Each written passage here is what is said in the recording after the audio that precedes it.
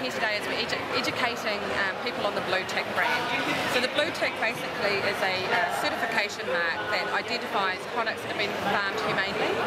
So all our producers and farms have been audited by the SPCA. We have an independent auditor. Uh, they, once they've um, passed the audit, which is um, marked against our uh, SPCA standards, so we have free-range pork, free-farmed pork, uh, free-range eggs and barn eggs, and now free-range poultry.